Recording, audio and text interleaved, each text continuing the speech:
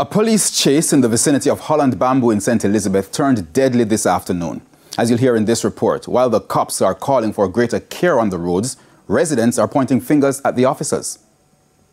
Mangled metal, firefighters working feverishly to free victims after a deadly motor vehicle crash along the Holland Bamboo Main Road Monday afternoon. It's understood that sometime after 2 p.m., police officers in a service vehicle were chasing a blue Toyota Mark X motorcar towards Santa Cruz. A motorist who saw the chase says he feared it would turn deadly. So one, blue Mark X shot past me, and let see police jeep back at them. And I talk to somebody on the phone, on a program. And I tell the person, one police vehicle around one market. I'm tell them say I bet they crash before they reach your business place. And that's exactly what happened. According to head of the St. Elizabeth Police, Deputy Superintendent Coleridge Minto, another Toyota Mark X that was not involved in the chase got caught up in the happenings. A, another motor car traveling from a minor road on the left drove out in the road.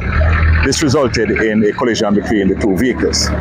As a result of this accident, several persons from the Mark X as well as the police service vehicle sustained severe injuries and were rushed to the Black River Hospital. When we come, we can see Wilton Van Dirt, Bertie Chaplin like car, one girl, whole her face cut up.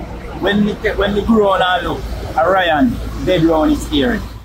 The deceased has been identified as 36 year old Ryan Forbes, a farmer of Brompton in the parish. The other occupants of the vehicle, as well as officers from the police vehicle, sustained serious injuries and have been taken to hospital for treatment. Up to news time, there was still no information about the blue Toyota Mark X that the cops were chasing. In light of the circumstances that led to the deadly collision, the cops and the residents have different views about who is to blame. I want to implore to our motoring public to use the roadway with care, drive within the ambits of the law. Man, I tell us right now, the police them should have called back up, brother.